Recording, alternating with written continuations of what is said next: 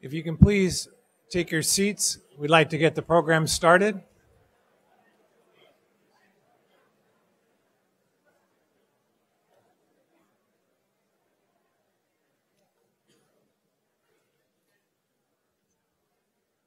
My name is James Ennis, and I'm the Executive Director for Catholic Rural Life, a Catholic nonprofit that focuses its efforts in rural communities around the country. We are based here at the University of St. Thomas and have been in existence for over 90 years, promoting and supporting all those in rural communities and applying the Catholic social teaching to the needs in rural communities. I want to thank you on behalf of all our co hosts who've helped us put together. This is a symposium, a three day symposium, and this public lecture is just one of many events uh, that have been co hosted by a number of partners that I'd like to list because they all made this possible.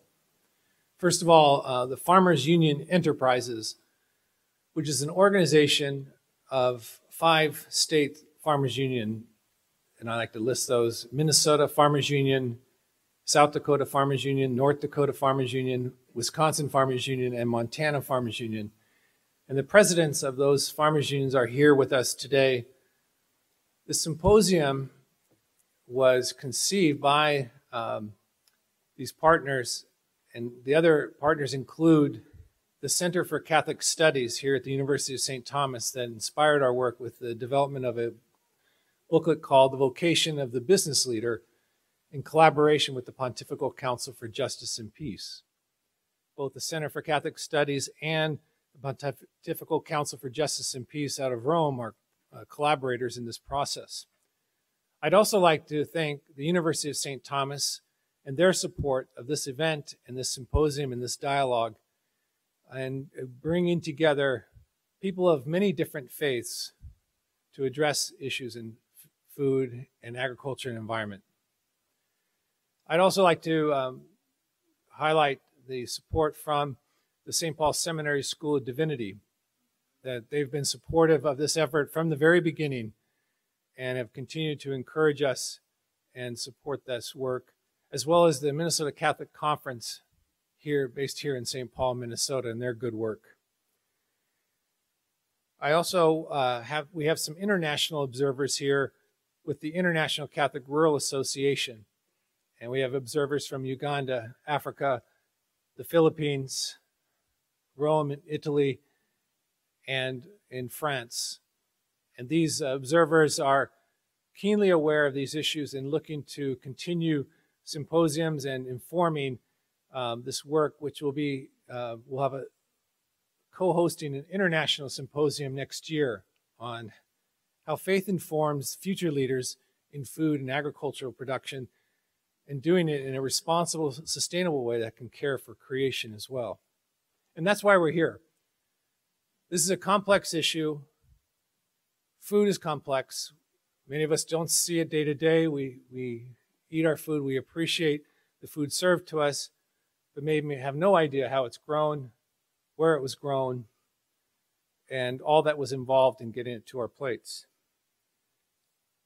But this gathering tonight will highlight the human, very human aspects of this work and the need to take a look at how we do this work in ways that honor the dignity of the human person and the beauty and the gift that creation is, this earth that we live on. As uh, one of the co hosts here, uh, Doug Peterson, who's the leader of the Minnesota Farmers Union, I'd like to ask Doug to come up and uh, introduce himself and talk a little bit about why Farmers Union is behind this. Uh, we have 70, over 70 leaders from 14 states here for this symposium, and over half of them are farmers or involved in farm organizations. And frankly, farmers like to solve problems. And that's why we need and want to participate in a symposium that brings together all the best minds and those who are very practical and not keep it too abstract. So I'd like to welcome Doug Peterson, who's been a supporter from the very beginning, and please uh, give him your attention and a warm welcome. Doug.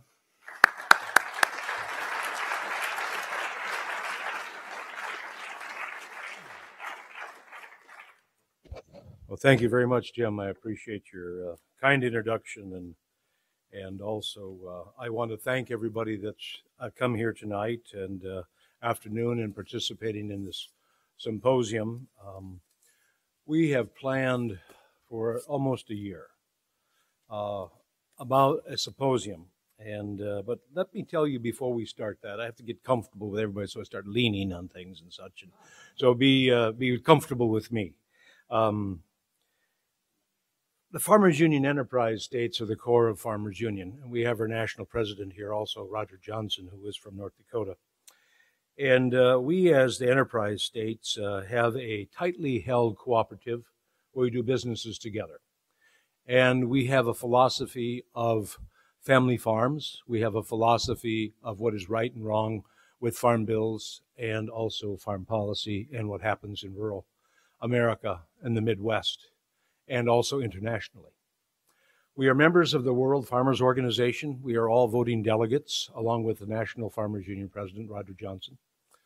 And we have dialogues with farmers of other countries. The WFO has about 80 members, 80 member countries. And we have symposiums and we talk about the things that challenge farmers, whether it's hunger, whether it's access to credit, whether it's technology, the challenges to women. Women raise half of the world's food on less than five acres. Women. 90% of today's farmers are family farmers. If we gave women access to credit and land title, we would reduce world hunger by 600 million people a year. That's what we talk. That's right.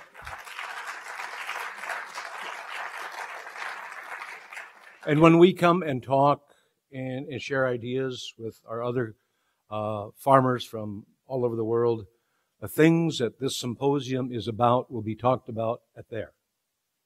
So the spark for this is not only with the spark for, for the faith leaders and the spark of family farmers, but it is the far, it is the spark of the humanity of faith.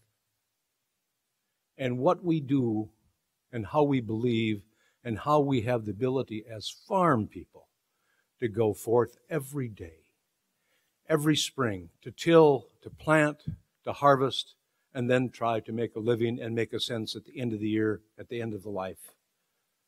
Because as we know, all things have their time. So we come together as a farmers union. We've come together as faith leaders. we've come together as community leaders, environmentalists, and all that. But just one more little piece about farmers union. We've been involved for a number of years.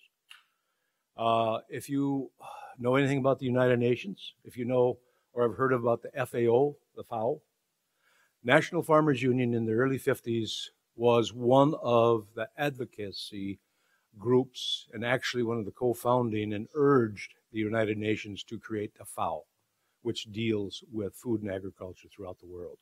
That's the mission of this organization. And the mission of this symposium, ladies and gentlemen, is over the next day and a half. We've spent some time today with some pretty good discussions. Um, they're going to be complex. Uh, we are going to get into more of the production and th- those types of things tomorrow, bright and early, I understand. Um, but these discussions are not going to be unfamiliar to people. Not unfamiliar to any of us that farm or are leaders or are charged or called to be leaders. And I think that's the important part here. We are all different, but yet, you know, we are all from an agrarian background and we are all farmers at heart.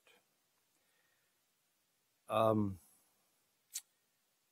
I believe, and there are concerns that are sim- similar, and in on direction, uh, and for many of us today, on the direction of farming, and like I said before, and production of food, as to how we and what we want farming and agriculture to look like down the road. I believe uh, I, I, learned from uh, Representative Collin Peterson that in the country of Spain, abstract as it is, the country of Spain, five farmers control all of the farming and agriculture in Spain. That's something we don't want to see. The charge is to us, and that's the call. So, the questions that we're going to take tomorrow and hopefully try answer, we're going to apply the social issues of humanity and faith, frankly. And we're going to seek answers and we're going to seek suggestions. And yes, we may even have suggestions for change, and then suggestion for change, there is support for change because you are leaders. That's why you're here. A couple days ago, I attended a conference on child hunger and education. One of the lead speakers drew out and pointed out very, very dramatically that without faith leaders, we could not challenge food insecurity and we could not uh, win the war on hunger. So there is a place in the humanity for food and faith leaders and agricultural environmentalists and organizational leaders to be part of this symposium. None of this works if you farm and you can't make a living. None of it works because my wife Ellie and I have to make a living at the end of the day, at the end of the month, at the end of the year. We have to be able to continue. And that challenge is for business leaders and that challenge is for all people because of the complexity of our economies. So, with that, and I'll call it salt, we can salt that conversation tomorrow, Bishop, with the issue of staying viable as a business or as a farm and seek those answers. And, you know, those answers are going to be challenging, as I said before, but those answers are going to be considered. Um, because farmers need to feed people, and farmers need to have access to trade, they need to have access to technology, they need to have access to land title, credit, and capitalization. So, where does the young farmer and the beginning farmer and the exiting farmer fit in all of those questions? And like I said before, yes, the job of making a living from a rural, from making a living from a business profession does really control the direction and some of the decisions and the outcomes that we make every day on the farm or every day with our business or in our parishes or in our congregation, as you know. So for me, this is about finding a path. Finding a path and, and answering the questions. So, who do we turn to on these questions? It's pretty simple. We, we turn to the body of knowledge that is with us that faith brings. It's that simple. The body of knowledge that is within the faith community that surrounds all of these answers to these questions about farming, the environment, business, profit, capitalization, all of the above, everything that I've talked to. And as you know, the answering the issue on food production and farming is the answer because if you talk to somebody who's hunger, there's nothing but hunger. There's no answers except I'm hungry. I'm hungry. How do we do that? How do we get there? But farming is really the core to our humanity, and it shows up in the parables of all faiths.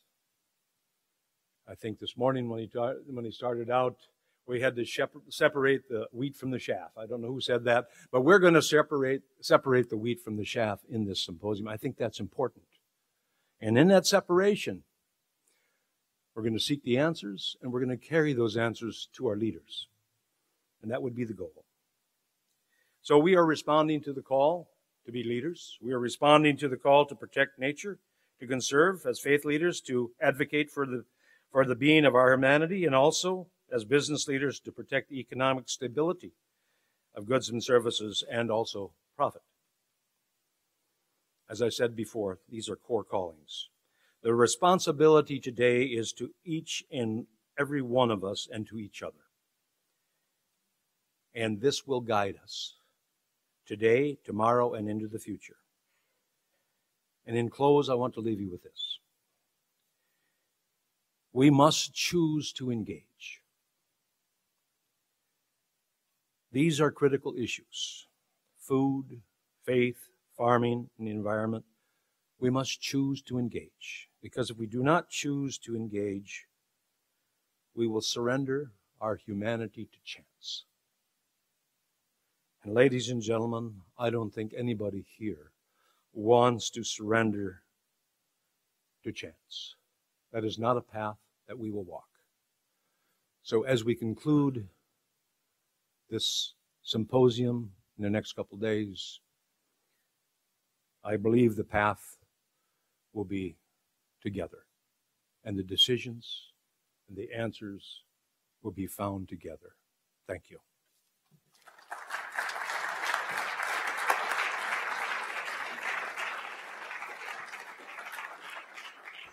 Thank you very much, Doug. Now I'd like to introduce you to the president of the Catholic Rural Life Organization, Bishop Paul Etienne. He's the Bishop of Cheyenne, Wyoming. And Cheyenne and Wyoming has one diocese, so he's actually the bishop of all Wyoming.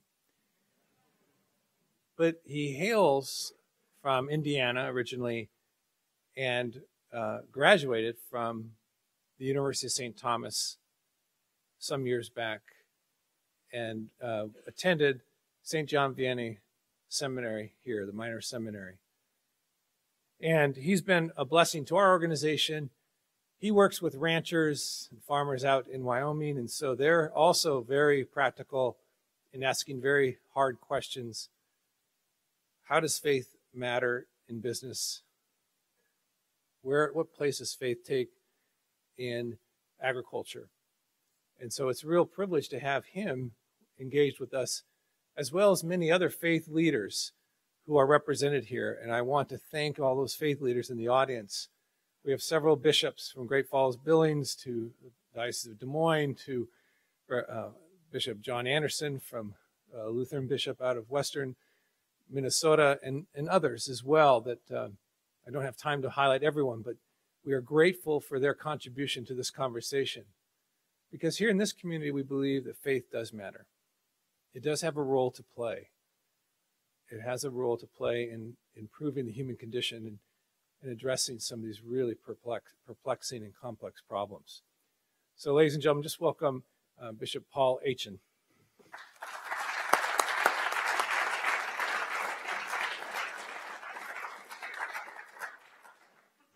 Thank you, Jim. It's a pleasure to be here on the campus of the University of St. Thomas again and in O'Shaughnessy Hall. I was uh, telling Bishop Pates, who was my rector in the days I was a seminarian on campus here, I thought when I was a student this facility was a lot bigger than it looked when I walked in this evening. But it's lovely to be here.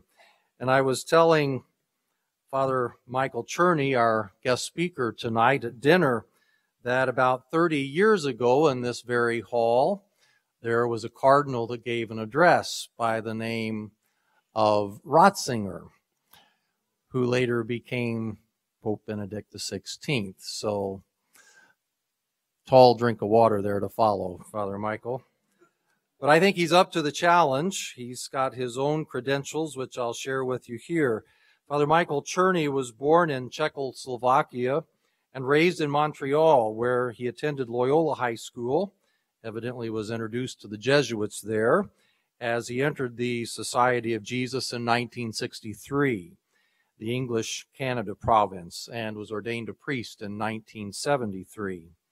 He did graduate studies at the University of Chicago in an interdisciplinary program in humanities, social thought, and theology, and earned his doctorate in 1978. Father Czerny was the founding director of the Jesuit Center for Social Faith and Justice in Toronto, which sought to implement Catholic social teaching in a variety of domestic and international issues.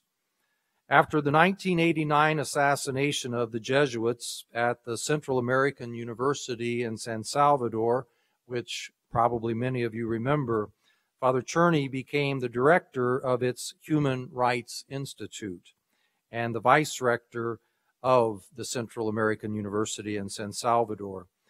He contributed there to the UN mediated negotiations which brought an end to the Civil War in 1991. For 11 years, Father Czerny served as secretary for the social justice or for social justice at the Jesuit General Curia in Rome. He participated in the 1995 34th General Congregation and in a three man United Nations fact finding mission in Haiti. From 2002 to 2010, he served as founding director of the African Jesuit AIDS Network, which assists Jesuits in some 30 countries of the continent to respond to the HIV AIDS pandemic in an effective, evangelical, and coordinated manner. In 2009, Pope Benedict XVI named him as an expert to the Second Synod of Bishops of Africa. And since 2010, he has been serving as an advisor or counselor to the president of the Pontifical Council for, the Just, for Justice and Peace, Cardinal Peter Turkson of Ghana. So it's my pleasure and privilege to welcome at this time Father Michael Czerny.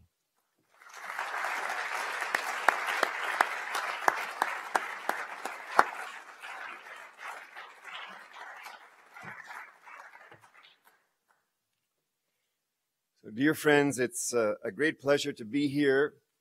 As you probably know, I'm what I think is called a pinch hitter. Since Cardinal Peter Turkson is, uh, was invited and was very much looking forward to being here this evening, but um, this very week uh, at the Vatican, there's a series of meetings to try to assess and improve uh, our church's response to the crisis of Ebola in West Africa. And so uh, Cardinal Turkson finally felt uh, that his place was there working with others in the Vatican to assess the situation, to see how well the church has been responding, but then to try to come up with an action plan to strengthen and improve that response. And so I uh, ask you to, uh, in a sense, translate your disappointment at his not coming into support and solidarity with this uh, very important cause and somehow to, to be part of what the church is trying to do to help our uh, vulnerable brothers and sisters in West Africa. So in his place, I'm uh, very happy to accept the invitation and to make this uh, contribution to the symposium and to our thinking about the topic of faith, food, and environment. It's already been mentioned that uh, in the background of our work uh, these days, there is a handbook which uh, maybe some of you have already seen and which uh, we are happy to share which is called the vocation of the business leader. So this is an important stepping stone for the work that we are doing here. Another important uh, stepping stone has to do with the financial crisis, which we're unfortunately still living through. And it, it, uh, that crisis uh, gave rise to a booklet that our council published called towards reforming the international financial and monetary systems in the context of global public authority. What that uh, booklet basically did, besides assessing the uh, crisis, was to call for a more uh, proportional exercise of responsibility. Uh, uh, this is something which I think we can apply to our topic here. When a problem is of a uh, universal, global size, then the responsibility that we take for it also has to be global. We can't say, well, things will take care of themselves while we kind of do our own thing, each in our own corner. And that is something which our world, unfortunately, is not very well equipped to do. So our booklet received uh, a warm welcome from some and uh, quite vigorous criticism from others and maybe that's a sign that we were on the right track. but we think that the problems in our title today of food and agriculture are also global problems and maybe will require global responses.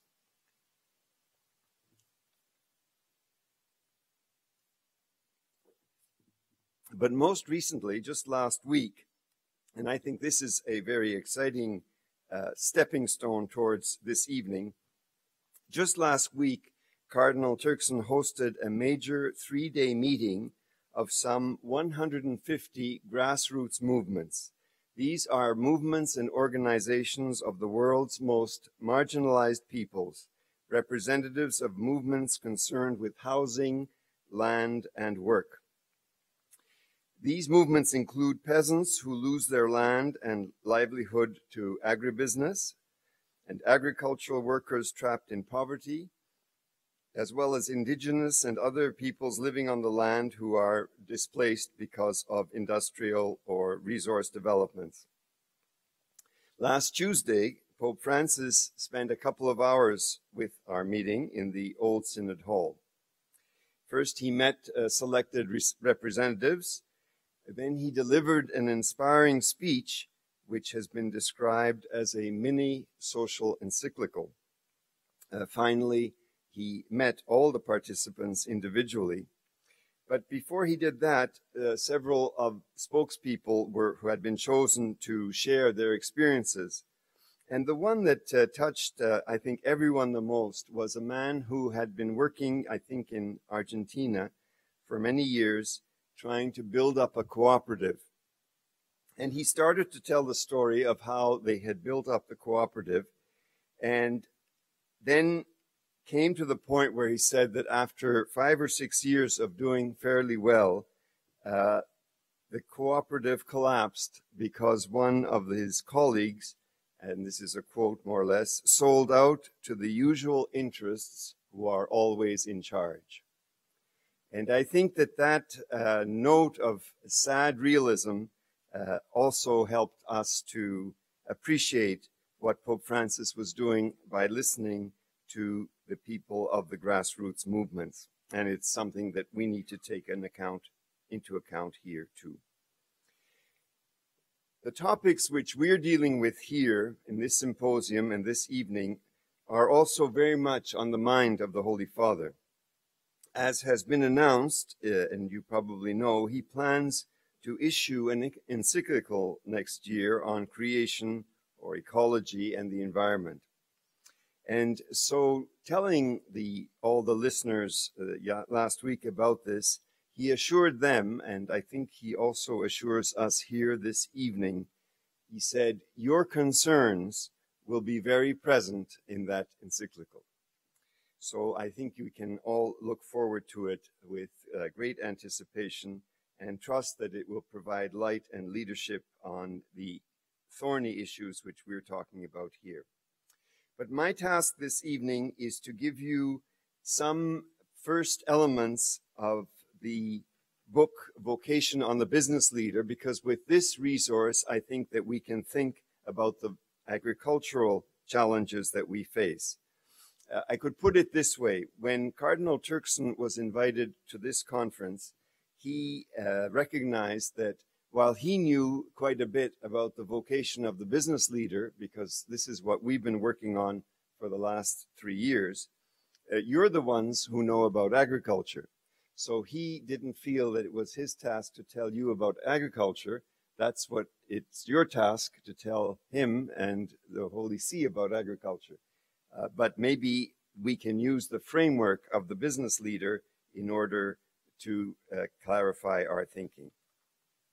And so my first question is why do we talk about a vocation? Vocation connotes more than work, more than interest and aspiration. It means a real calling. And the Bible has God frequently calling individuals directly or through dreams or angels or other intermediaries. For instance, David's job was to be a shepherd, but God called him to become king. Jonah ignored God's call because he had no interest in lecturing the people of Nineveh, so God sent a whale to deliver him. And when Jesus called Simon Peter and Andrew, telling them, I will make you fishers of men and women, they followed Jesus, but they also continued to fish from time to time. And really, their vocation was distinguished by being of a larger perspective than only fishing for fish. So, for the purposes of this symposium, vocation means a calling which comes from God our Creator. Creation and everything created are purposely willed by God. It follows that the meaning of everything that exists is meaningful with reference to God. Accordingly, the sense and value of human activity are not fully discovered without reference to the God of creation. We sell our efforts short when we leave God out of the picture. We do not actually grasp the full meaning of what we do without God's presence. All human activity that affects people, our existence, our world, must be related to God and be seen as a contribution to and a continuation of His work of creation. He who created man and women in the image and likeness of God.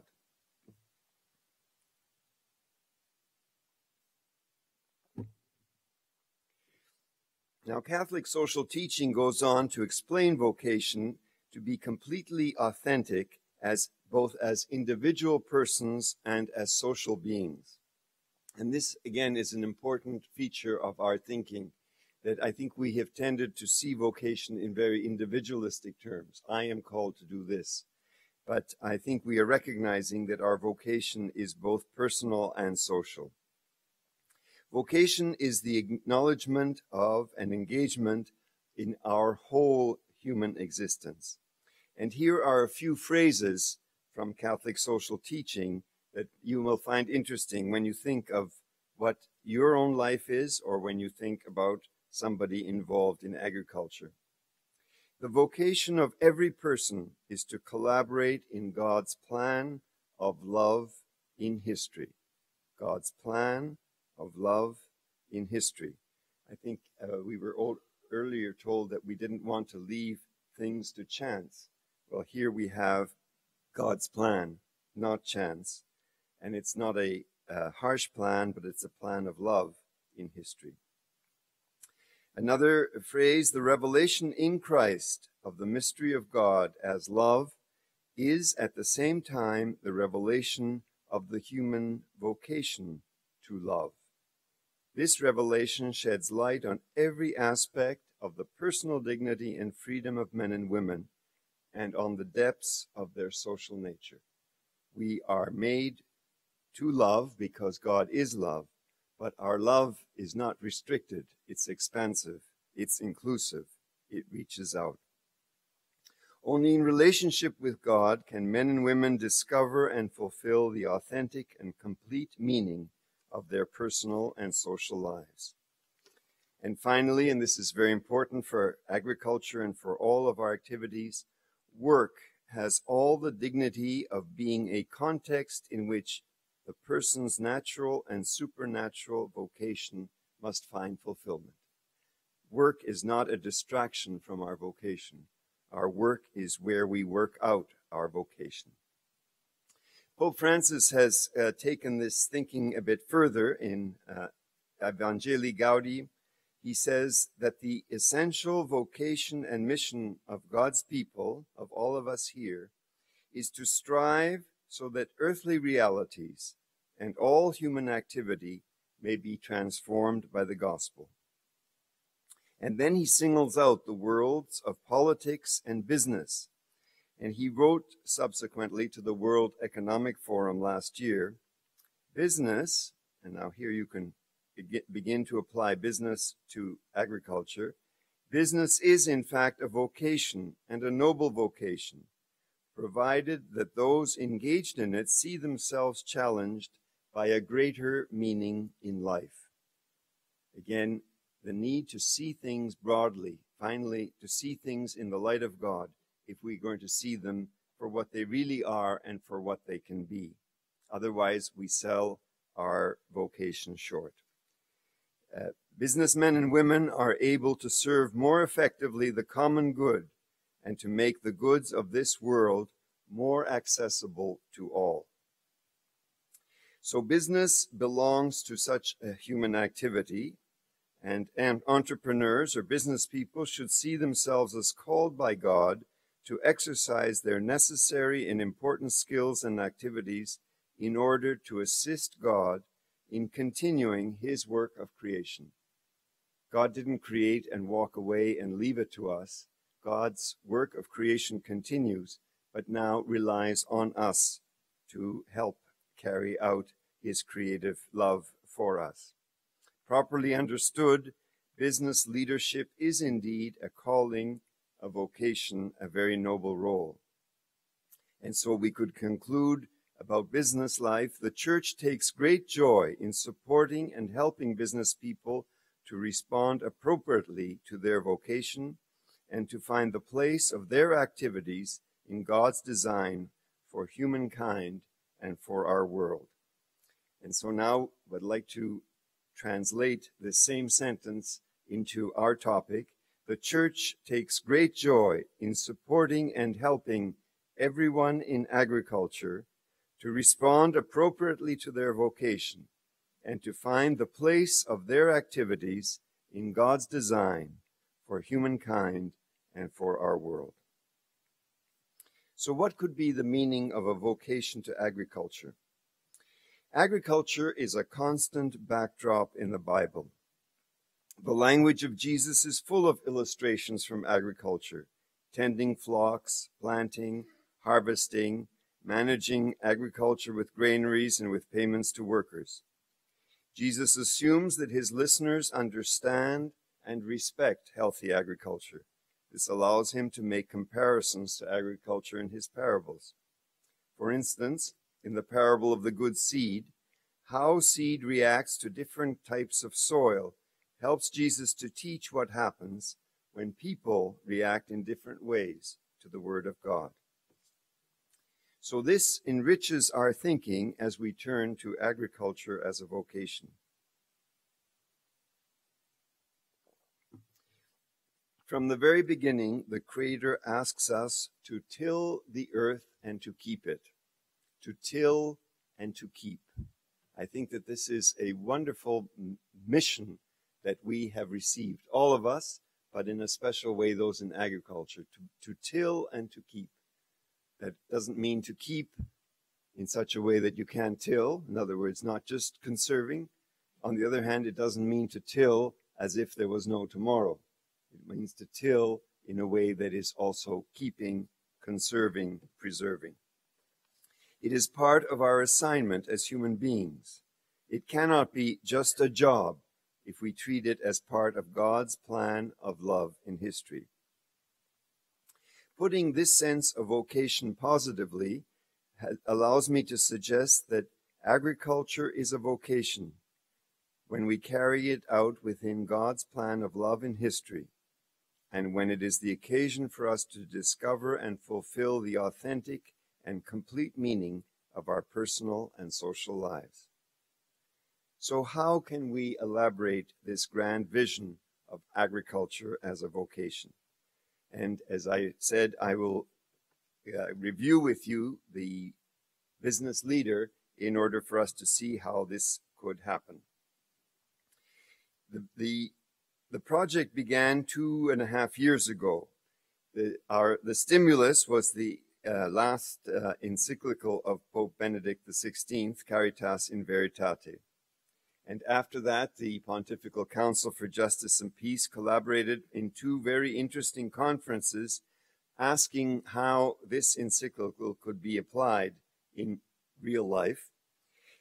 And the outcome was a decision to write a handbook for businessmen and businesswomen that translates the specific principles of Catholic social teaching into practical ethic, ethical guidelines for making decisions. It is to provide guidelines for making decisions. It is not telling you what is the right decision. It is helping you to reach the right decision. But it is recognizing that sometimes reaching the right decision is a very, very tough challenge indeed. The work was, was done by an international group of about 15 business people, managers, researchers, and educators, and the coordinator was your own Professor Michael Naughton, whom I trust all of you know. And the working group also included the president of the International Christian Union of Business Executives, which is called UNIAPAC. And we're very grateful to them and to all those who participated. And we can anticipate that the vocation of the agricultural leader will also be produced by a fine international working group.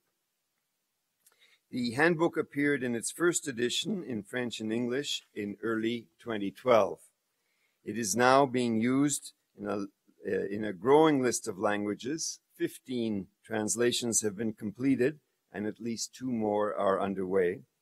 It is being used in university courses, in discussion groups. It has stimulated research.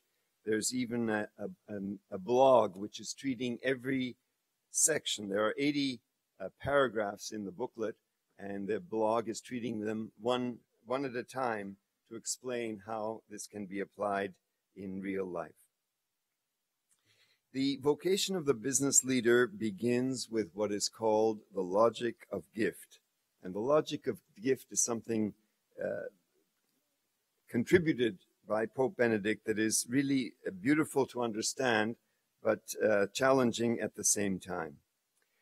Every Christian is called to practice charity and truth in a manner corresponding to his or her vocation and according to the degree of influence he or she wields in the public sphere.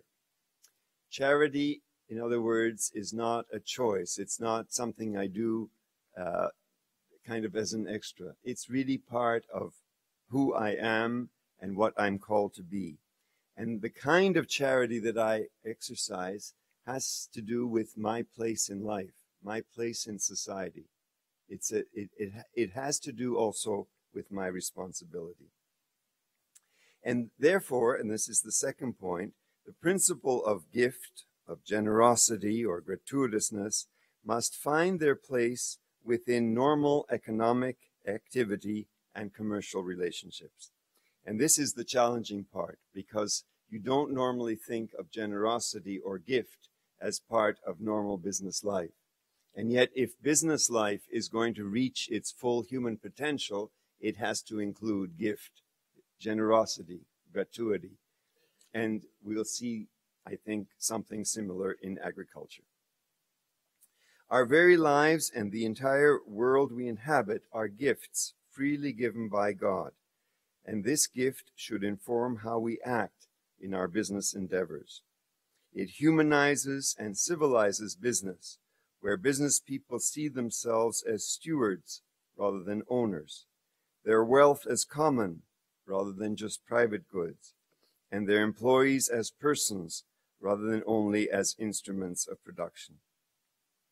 And the booklet points to this right at the very beginning. It says, In the gospel, Jesus tells us, From everyone who has been given much, much will be demanded. And from the one who has been entrusted with much, much more will be asked. This, you can see, applies to business people who have been given great, great resources, and the Lord asks them to do great things. But this will also apply to people in agriculture, to whom much has been given, and from whom much will be demanded. And that's what we're waiting and expecting to see from them in their vocation. The gifted character of business carries social implications. Business leaders have significant means to undertake something, and with this comes a corresponding responsibility.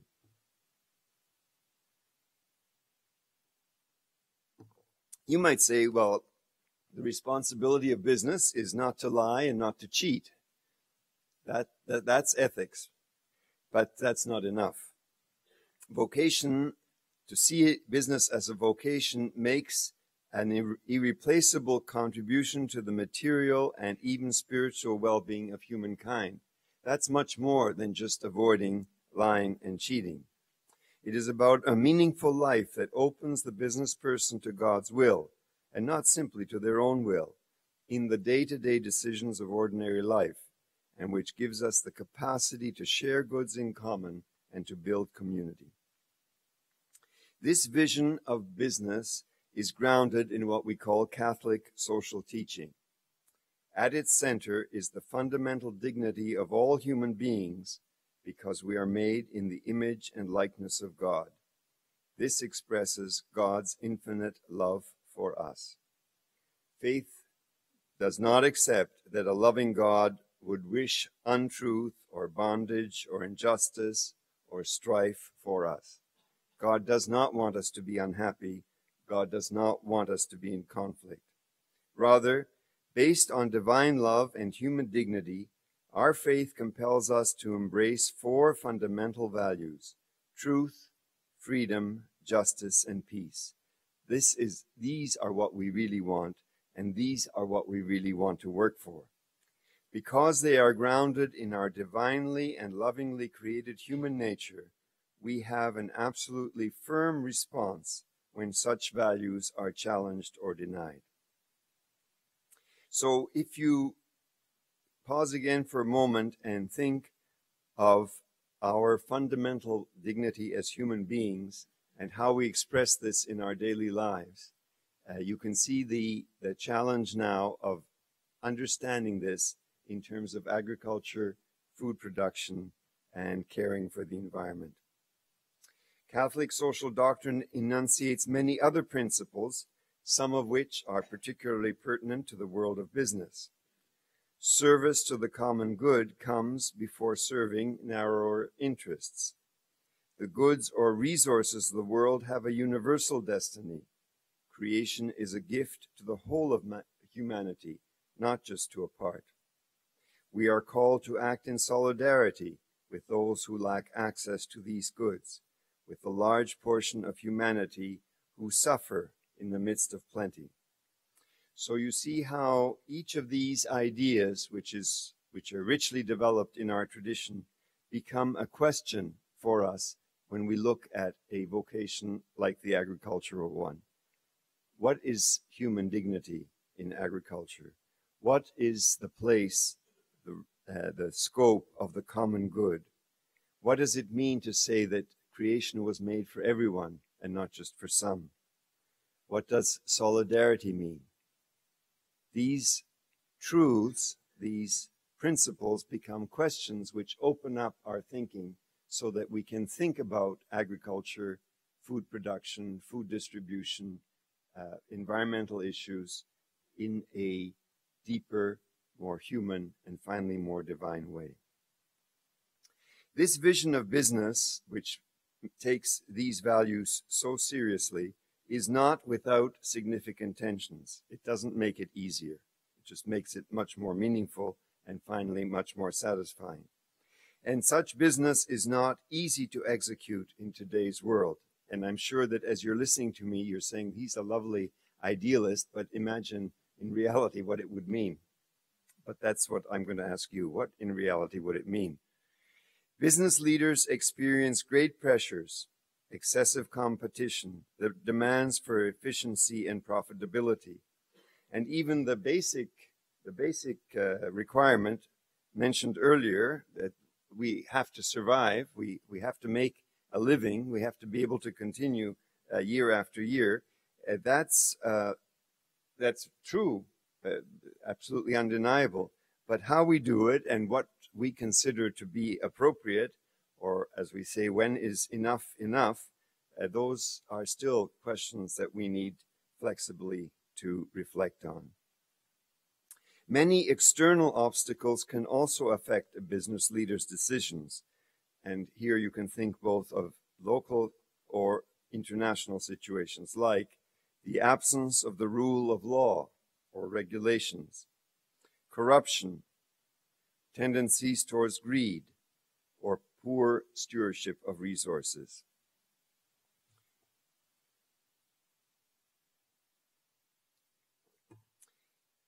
And among all these difficulties, there's one which uh, touches us very personally, and that is what we call, and what the church in her teaching calls, a divided life a divided life, a life which finally means that we are Christians on Sunday, but we're just ordinary folk from Monday to Friday.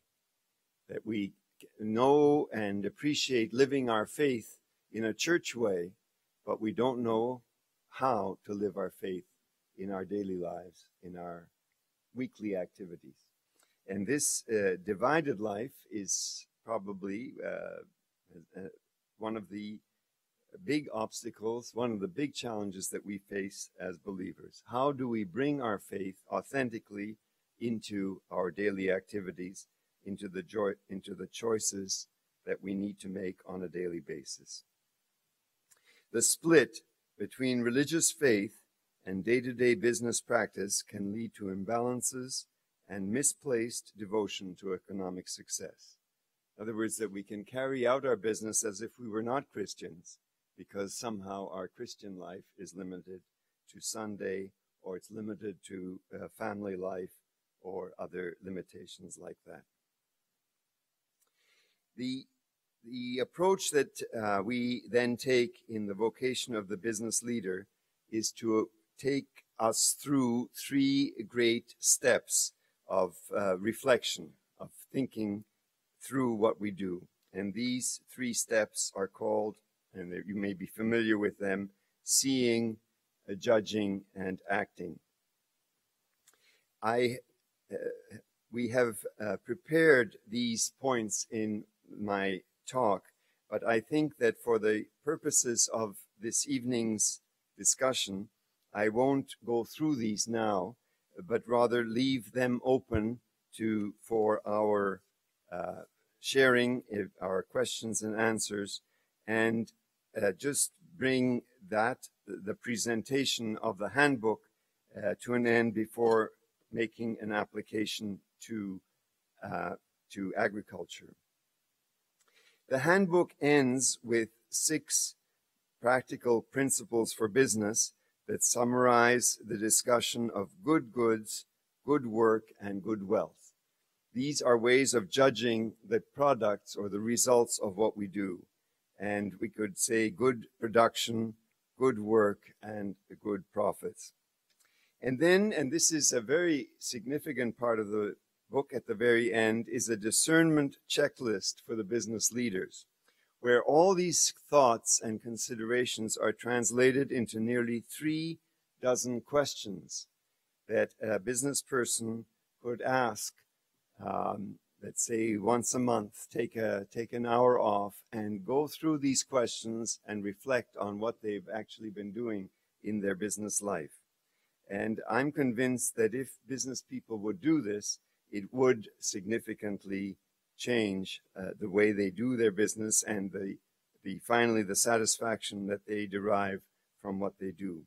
And I very much hope that the vocation of the agricultural leader will also end with questions like these. As a Christian business leader, am I promoting human dignity and the common good in my sphere of influence?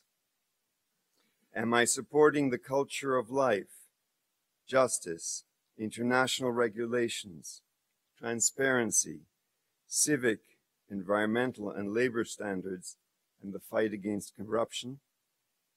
Am I promoting the integral development of the person in my workplace? These are questions which, when I ask them just like this, you say, well, they're huge and vague.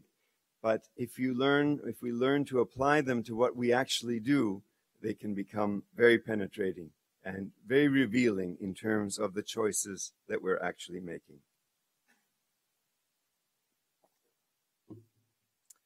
But our, the interest that brings us together here this evening is not business in general, but particularly the activity of agriculture.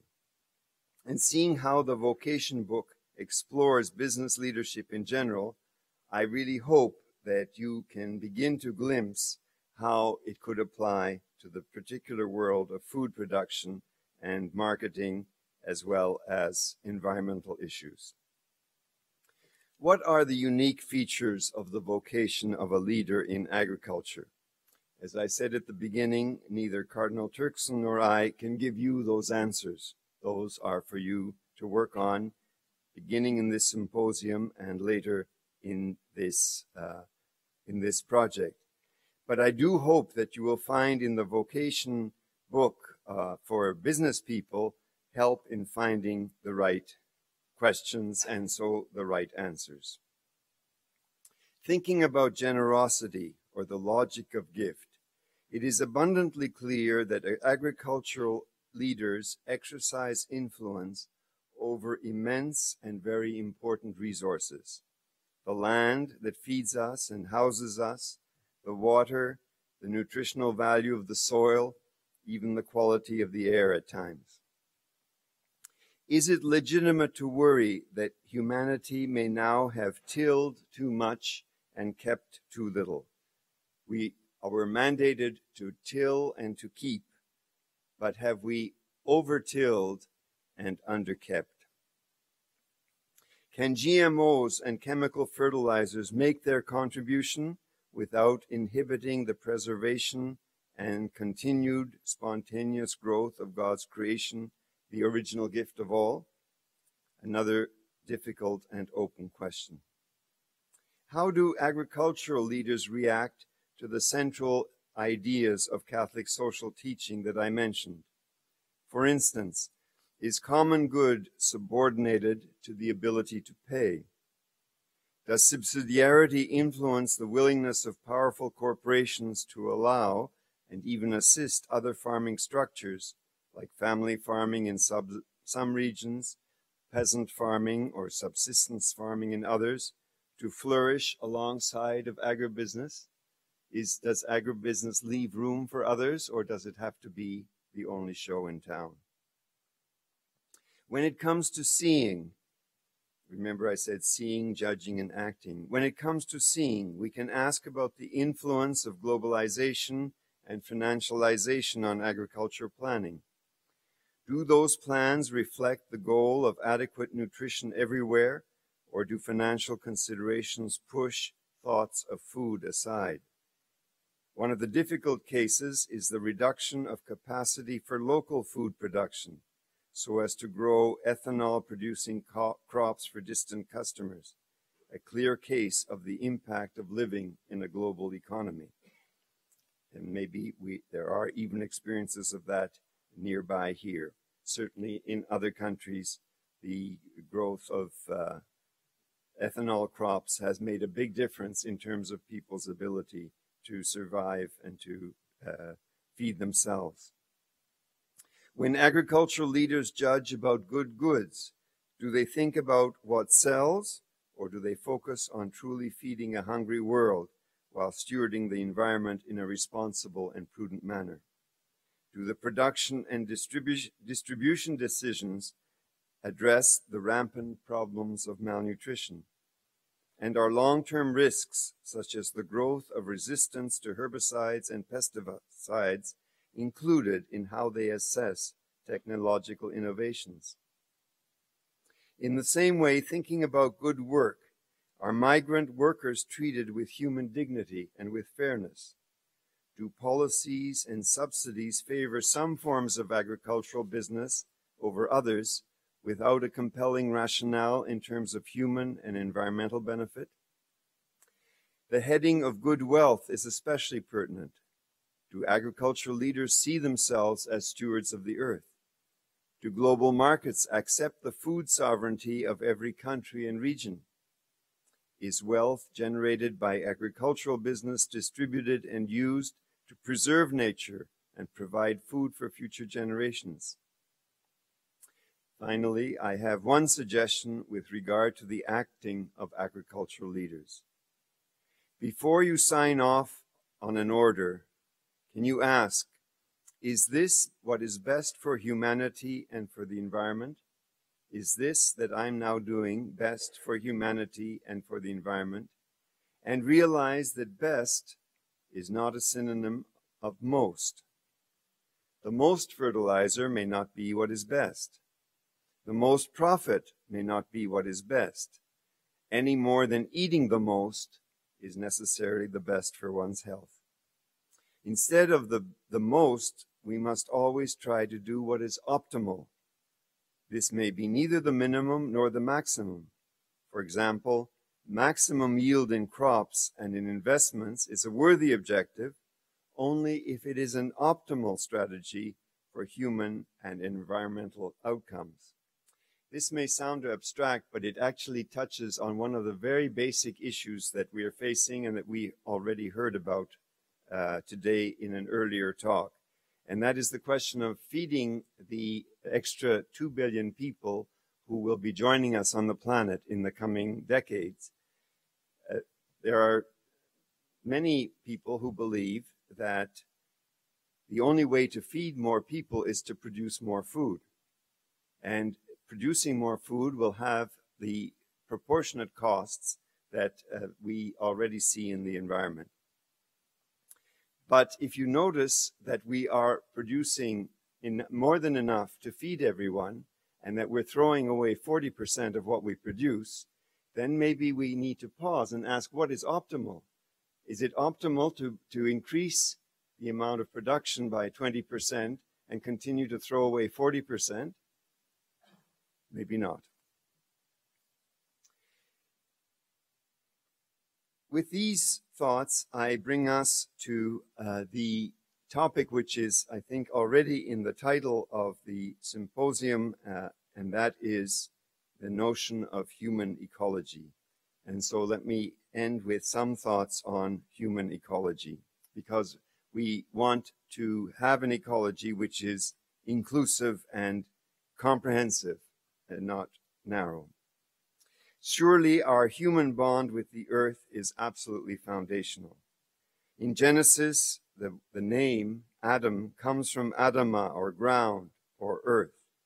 So too, the word human is grounded in the word humus, which means soil. Humanity was not created out of nothing. Humanity was created out of Adama, or out of the ground, out of the earth, and out of humus. So without earth, there is no human being. God could have made more angels, but without the earth, he couldn't have made us. Moreover, moreover, our human story begins in a garden, not in the wilds. And it involves more than the laws of nature. Humanity is the factor that opens the earth up to new possibilities and new realizations. Are they new harmonies or new imbalances? The outcome depends on our actions. We are in that intimate a relationship with the earth. When we care for the earth or misuse it, we care for ourselves or abuse ourselves. Because we are for earth, and we send forth as gardeners, our nature is to consciously work the soil, work on and within the ground from which God made us.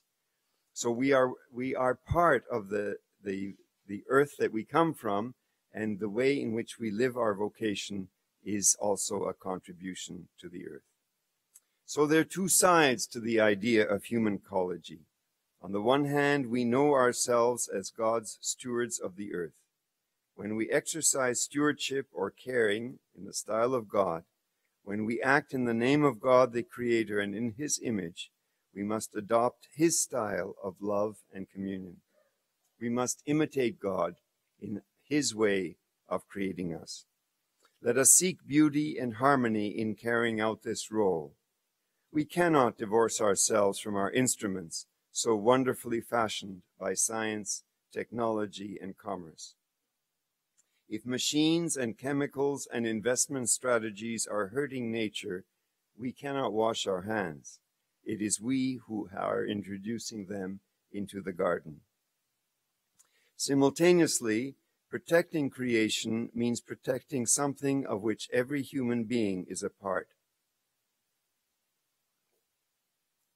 We are all creatures, we are nature, and we share the destiny of created nature.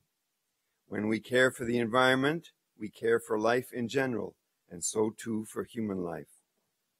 And when our interventions in nature lead to changes in nature, these changes do not occur in something distant, something dead, something that is far from us. when we make changes in nature, we are changing ourselves too. So the authentic wholeness, the integral self of every man and woman is bound up in whatever we do in our natural environment. So here we have the connection with human ecology. The way men and women treat the environment reflects how we think about and treat ourselves, and vice versa. Respect for human ecology lays down the limits and perspectives of development. The environment cannot be considered more important than humanity, nor can the environment be just a warehouse of raw materials. Not to recognize and not to respect our full integral reality is to poison the human environment at the same time as we poison the air and the water. Our faith calls us to this understanding of ourselves and our place in nature. For too long, we have allowed the colossal power of science, engineering, and commerce to separate us from nature and to treat it instrumentally as a means, as a warehouse, as a, as a dead, dead reality. So I'm very grateful this evening, and in the name of Cardinal Turkson, I express gratitude for the listening that you have done to this call of faith. With prayer, with loving concern for all humanity, and with the best that science and commerce have to offer, let us roll up our sleeves and return to the garden. Last week, when addressing these grassroots movements, the Holy Father raised the, some of the most difficult questions that we have included in our thinking about agriculture and the future. He mentioned things like land grabbing, deforestation, expropriation of water, inappropriate pesticides, as well as the tragedy of world hunger and the waste of food. When he raised these questions, he then went on to admit that those who were listening to him, and you remember they come from organizations of the most, the poorest and most excluded people, he went on to admit, I know that some of you demand an agrarian reform in order to solve these problems. Agrarian reform. In other words, a whole rethinking and restructuring of the way in which we do agriculture, in the way in which agriculture is based, uh, organized, uh, financed, and so forth. And he, and he added that in some countries, agrarian reform is, besides a political necessity, it is also a moral obligation. And he defended himself because he knew he would be criticized. He said, I'm not saying this for myself. It's in the compendium of the social doctrine of the church. In other words, the, the book that our department published uh, 10 years ago. Agrarian reform is, besides a political necessity, a moral obligation. And so I wanted to conclude with this cry for agrarian reform because I ask myself, and I wonder if you would like to debate this true, whether what we eventually will mean by the vocation of the agricultural leader, whether in order to have an agricultural leadership, an agricultural future, would we also agree that we need agrarian reform? In other words, not just people trying harder to do this mission better, but a deeper rethinking of the whole sector. Do we want to consider, whatever it might mean, agrarian reform? And if we think about agrarian reform, would we also think about energy reform? Would we think about sustainable food reform? Would we think about sustainable climate reform? So the vocation of the business leader, the vocation of the agricultural leader, finally brings us to think about our world and about how it is managed and about how we can carry it forward. And it is the role of the church not to provide solutions to these big questions, but to make sure that the questions do get asked. And so if we've succeeded in raising these questions with you this evening, uh, then I think uh, Cardinal Turkson and I with him will be very satisfied in having made our contribution. And now we very much look forward to yours. So thank you very much.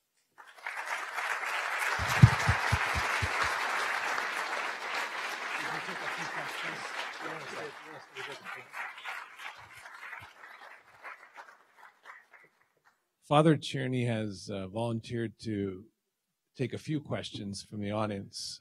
And so I thank him for being willing to do that and want to give you an opportunity. Anyone who might have a question or a clarification, um, please raise your hand and we'll, we have time for a few questions before we close our program for tonight.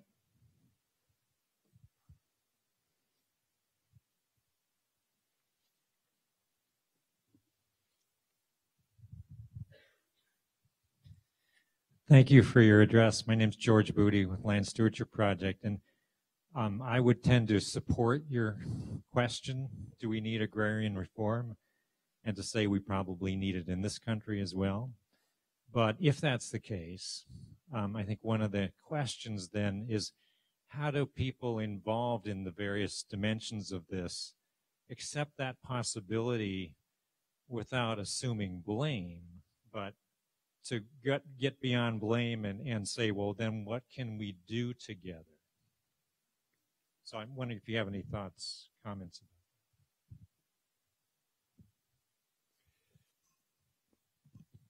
The uh, I must say the the area in which I maybe have thought most about what you're asking has to do with climate change. Um, I think that climate change is what helped me to understand the, the, this last possibility, this need for more like a reform than just a, one new measure or one new agreement. Because it's pretty obvious that on climate change, we really do have to agree together. We can't say, well, we'll have some, um, we'll have some climate-friendly countries, and then we'll have others that are less. Uh, we can't do that. And yet, uh, in order to get good agreements, we need, we really do need reform, and we need a, a new ways uh, and new depths of ways of coming to decisions, of grasping our responsibilities. That's what we meant with uh, the title of our booklet, Financial Crisis in the Light of, of um, let me get the right phrase, in the context of global public authority how can we exercise authority globally in a way that will get us to where we want to be? I think that's the sense of of your question. We, it's you're right. It's not a question of blaming. It's not a question of saying um, this is. Although there there are um, principles which sound a lot like blame, like polluter pays. That that doesn't sound initially very friendly, and uh, people can take it as um, um, you know as naming and blaming. Um, there's a way in which there are uh, a billion of us living on the planet way beyond the planet's uh, budget, and the rest are paying the deficit. And uh, I don't know how we're going to sort that out. I think that's where the Holy Father's uh, courageous idea of inviting the poor to speak is very important. Maybe listening to the poor speak will get us off the hooks of the dilemma that you raised. Okay, I think we have time for one more question tonight, this evening. I thank you also. Taking a little different tack than the previous question. Um, in the case of both Pope Benedict and now Pope Francis, when there was uh, more or less direct critique of the direction that modern Western capitalism is taking. They were, they were both roundly condemned for being anti capitalist and perhaps pro socialist, or even worse, in the American press from American um, free market theologians, excuse me, free market economists. Um,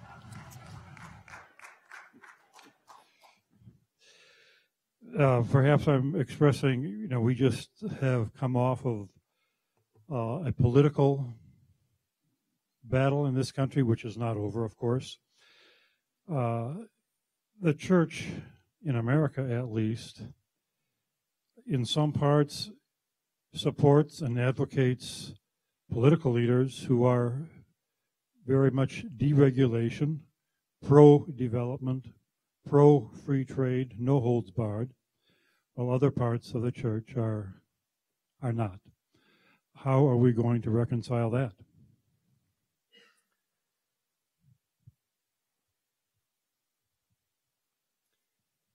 I'm, uh, I wish I had the authority to ask some of the bishops here to answer that question that way. I, I could return to Rome peacefully. but uh, I mean, I, I do think that the, the way you've uh, phrased the question points to what one feels watching from the outside, which is that there is a, not so much debate and dialogue as as polarization, and uh, it's it isn't easy to transcend it uh, at all, not at all.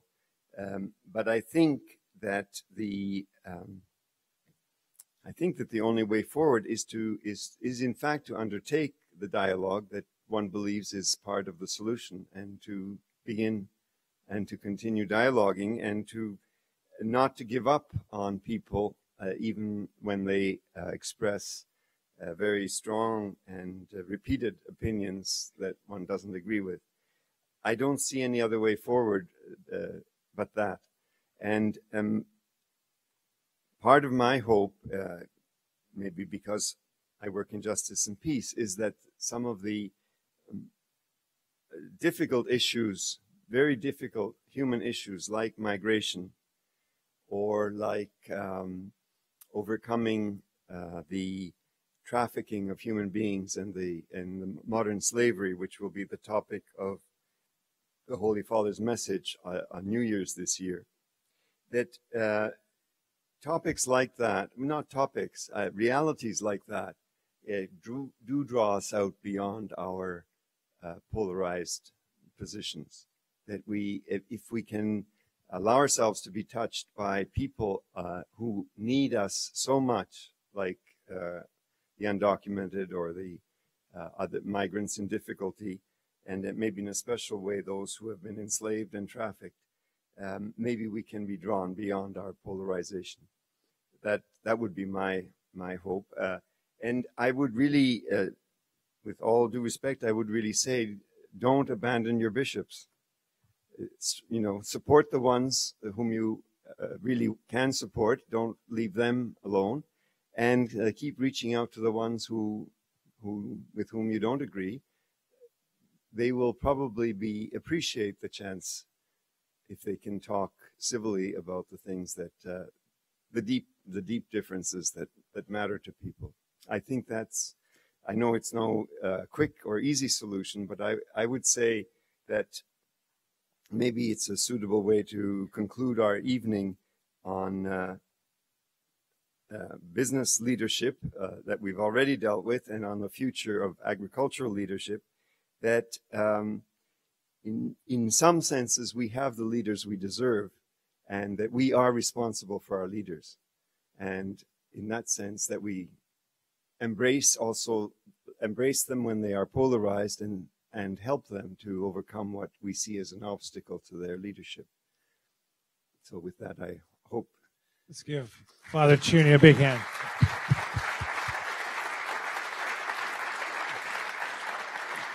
Uh, Father Czerny, we as uh, co-hosts have a gift for uh, His Eminence Cardinal Turkson, and there are two prints here on stage. Uh, one is uh, Jesus and the sower and the seed. And these are images from St. John's Abbey. These are prints of a beautiful, beautiful um, Bible, St. John's Bible that has been produced. And so these two, uh, the second one is uh, feeding of the 5,000. And so the image of the sower and the seed And I have a friend who keeps asking me every day, Jim, have you planted any seeds yet? We need to continue to plant seeds, to share the wisdom and ideas. And so these two prints are going to be shipped to Rome uh, in, in our, uh, should just show our gratitude for you and for Cardinal Turkson for sharing uh, yourselves and supporting this effort. So we want to thank you publicly for all that you're doing out of Rome for the common good. And thank you again for your wonderful remarks. Thank you.